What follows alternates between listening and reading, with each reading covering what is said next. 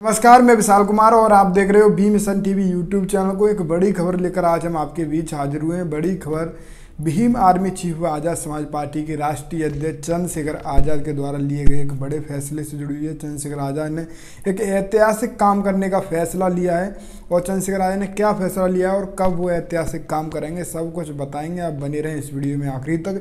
इस वीडियो करें ज़्यादा से ज़्यादा शेयर। तो आइए हम आपको पूरी घर विस्तार समझाते हैं। जैसा कि हम आपको बताने की कोशिश करें भीम आर्मी लगभग सात साल से जमीनी स्तर पर काम कर रही है और लगातार गरीब दलित शोषित वंचितों पर हो रहे उत्पीड़न और अत्याचार की आवाज़ उठा रही है। चंद्रशेखर आज़ाद लगातार गरीब दलित शोषित वंचों के बीच जा रहे हैं, जहाँ भी किसी भी घटनाक्रम की उनको जानकारी होती है तो सबसे पहले भीम आर्मी वहाँ पर खड़ी होती है, चंद्रशेखर आज़ाद सबसे पहले पहुँचते हैं।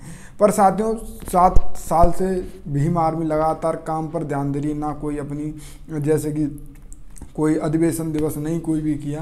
पर चंद्रशेखर आज़ाद ने अब 21 जुलाई को तालकोटरा स्टेडियम, यानी कि दिल्ली में तालकोटरा जो स्टेडियम है वहाँ पर एक अधिवेशन, राष्ट्रीय अधिवेशन की, एक अधिवेशन कार्यक्रम करने की घोषणा की, एक फैसला लिया है, और वो 21 जुलाई को होने वाला है। 21 जुलाई को तमाम पूरे देश भर से भीम आर्मी के कार्यकर्ता आएँगे, वहाँ पर पदाधिकारी आएँगे, और वो नज़ारा काफ़ी ज़्यादा देखने वाला होगा और काफ़ी ज़्यादा वहाँ पर तमाम लोग आएँगे और भीम आर्मी इक्कीस मतलब 21 जुलाई को एक अपना बड़ा ताकत दिखाएगी और काफ़ी ज़्यादा बड़े फैसले ले सकती है। अहम बात ये होगी कि उसमें मतलब चार भीम आर्मी के चार राष्ट्रीय पदाधिकारी वो उनमें से एक काफ़ी ज़्यादा नाराज़ चल रहे हैं। मंजीत सिंह नौटियाल, अब देखने को होगा कि मंजीत सिंह नौटियाल अधिवेशन दिवस में शामिल होते हैं या नहीं।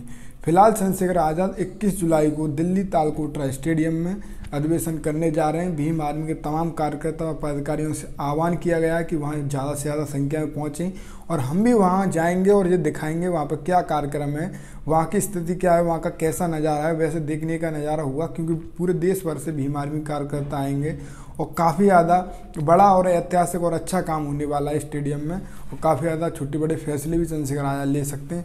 जो कुछ भी वहाँ पर घटनाक्रम होगा, वो हम आपको बी मिशन टी चैनल के माध्यम से दिखाएँगे। आप बी मिशन टी चैनल से जुड़ें और इस वीडियो को ज़्यादा से ज़्यादा शेयर करें। धन्यवाद। जय भीम।